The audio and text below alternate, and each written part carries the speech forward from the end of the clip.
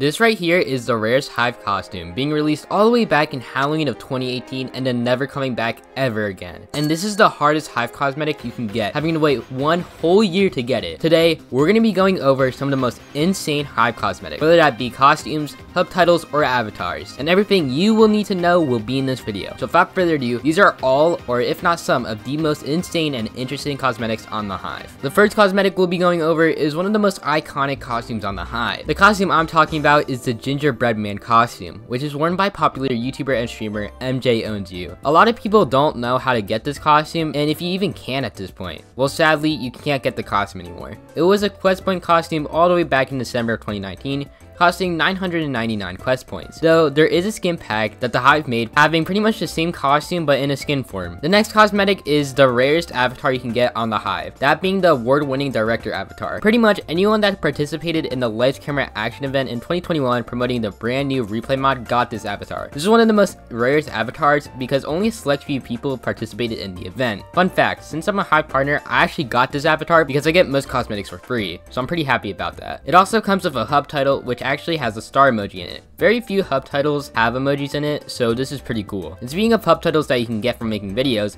the next hub title is a little bit interesting as it is the Buzztastic, Buzztastic, I don't know how to say it, Buzztastic Creator Hub title, which you get from having your content featured on The Buzz, which is Hive's daily newsletter, which is pretty cool. Next, we're going to be talking about the Cubee cosmetic set, which is pretty rare considering that only 1,768 people ever bought the plushie. The cosmetics are the Cubee pet, which is currently the rarest pet, the Cubee avatar, and the Cubee hub title. Speaking of rare hub titles, this is the Happy B-Day hub title. This hub title is pretty special as anyone that logged on the server on October 16th, 2020 got this hub title because that day marks the Hive's second birthday. It also includes a birthday cake emoji and a rainbow text, which makes this pretty interesting as this is a super rare combination. Speaking of B-Day, one whole year later on the same date in 2021, the hub title was released but slightly changed to red-orange color and a blue birthday cake. You also got an exclusive costume if you log on the Hive, that being the Party B costume. So remember, on October 16th of this year, I'd make sure to log on the Hive to celebrate B-Day with everyone else on the server. You should make B-Day a national holiday. Next, we're going to be talking about some cosmetics that are a little bit more on the rare sides of things. The costume we'll be talking about is the Black Cat costume.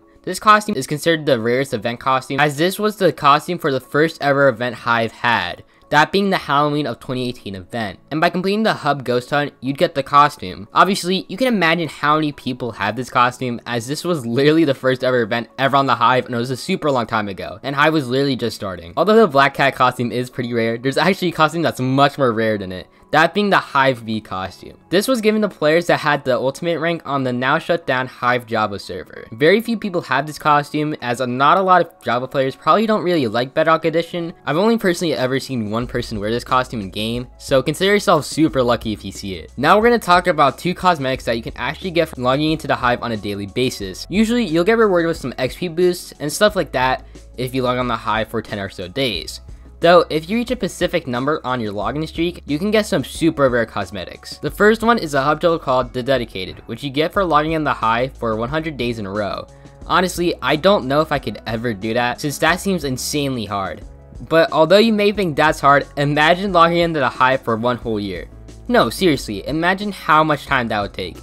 Well, let's just say some crazy, insane people, not calling them weird or anything, it's just, it, it, takes a lot of dedication, okay? Have actually done this and logged on the Hive for one whole year, and have been awarded the Time Owl costume. Pretty much, if you have a 365 day login streak, you'll get this super cool looking costume. This costume is really cool in my opinion, as it's based off the server admin, Splodger, being a Time Owl. I, get, I, don't, I don't really know, but he's an owl now. Either way, if you see someone with this costume, I'd probably say congrats to them for doing something insanely hard. There are also some cosmetics that are exclusive to only admins. I don't really have any screenshots on this because it's kind of hard to find, but you're just gonna have to take my word on it. Apparently there's a costume which is a pirate with a huge head. You will also probably see some admins wearing costumes before they release, which is pretty cool. There are also many unreleased costumes that we know will come up in the future, though I won't share them here. Anyways, that's gonna be it for this video. Thank you all for watching as it means the world. Before you click off, make sure you are subscribed and leave a like as it helps me out a lot and it's also free, so you might as well do it. Remember to also join my Discord, as we also host some giveaways in there sometimes. Also, I don't really mention this in videos a lot, but yes, I have a Twitch and I also have a Twitter. I may be live when this video comes out, so make sure to drop a follow and come say hi. Anyways, have a good day.